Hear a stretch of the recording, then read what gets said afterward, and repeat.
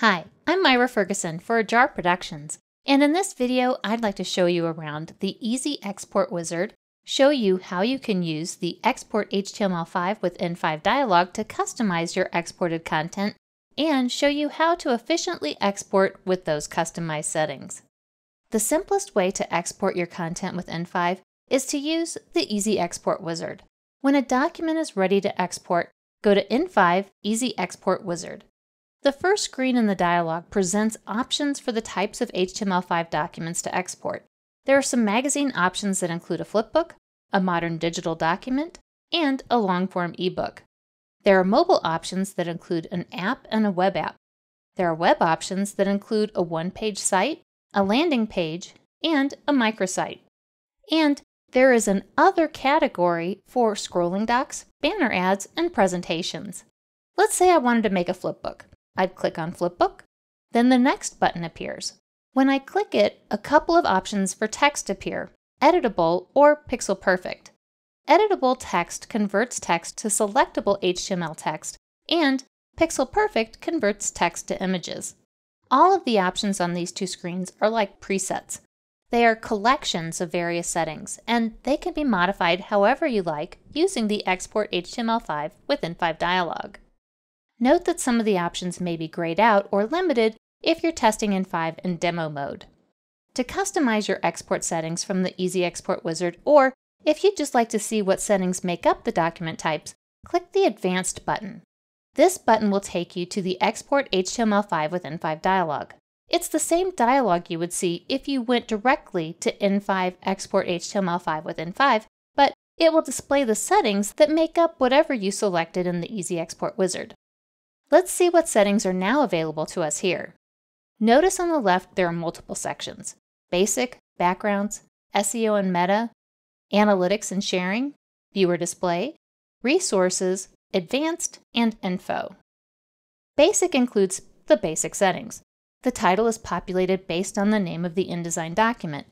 The destination folder is where your generated HTML5 output folder will be saved it's best to make sure that you're exporting to your local hard drive and not over a network or to cloud storage such as OneDrive or Google Drive. The export range allows you to select all or a portion of your document for exporting. Using a custom export range can help when you're testing your output for a long document. The page format determines how your pages appear and transition. Navigation includes options for moving forward and back through your pages and how certain links will open. There are four text rendering options that affect how your text will appear. Output addresses how your content will be used.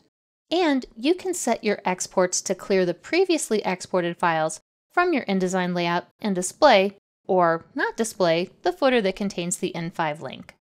The background section includes options for background color, a background image and how it would be displayed, page color, and a page image and how it would be displayed. SEO and Meta allows you to add a description and keywords that apply to the entire exported document.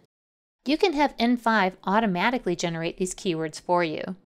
You can also add an author, an Amazon Web App verification key, and a version number if you're submitting your content to the Amazon App Store. The book URL is populated automatically for use with the Baker framework. The Analytics and Sharing section is where you would add a Google Analytics tracking ID and select which features you'd like to track. Here you can determine whether or not one or more buttons for social media sites appear in a widget that users can click to share your content. You can add an image that would be shared when any of those buttons for those sites are clicked. You can set the placement of those buttons, and you can set a custom URL for what would be shared when any of those buttons are clicked. The Viewer Display section contains all the options for the bar that can be added to the bottom of your content. Under Loading in Progress, you can show a loading bar, customize the loading text, and add a page progress bar. The Resources section is where you can add CSS or JavaScript to further customize the appearance and or the functionality of your exported content. The Advanced section lets you add an icon that appears on browser tabs and is the icon that's added to a device's home screen when you output a web app. Here's where you would set image quality and image optimization.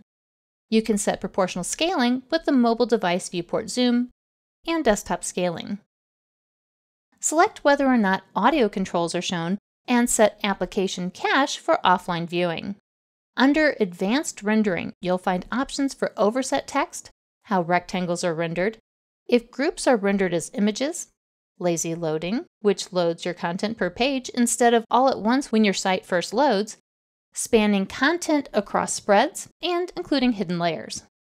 As you can see, there are quite a few options you can set when you export.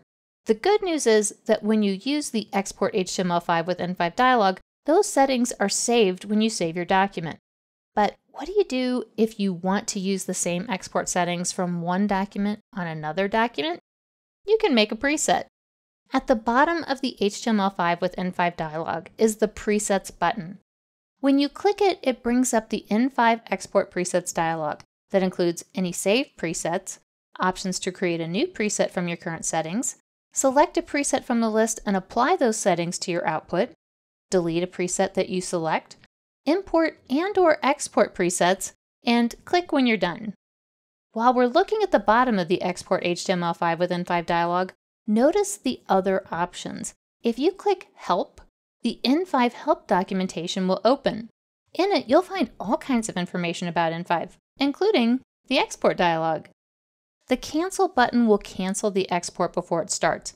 Be aware, though, that once you click the OK button to export, you won't be able to cancel.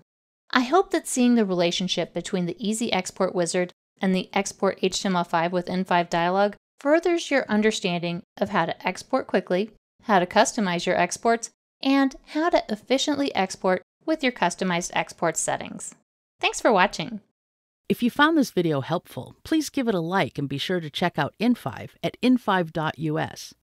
Thanks so much for watching.